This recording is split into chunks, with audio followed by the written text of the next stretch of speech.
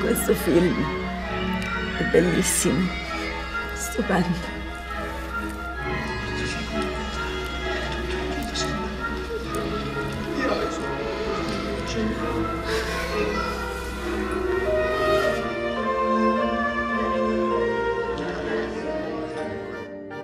Facciamo in modo che il cinema sia di tutti e per tutti.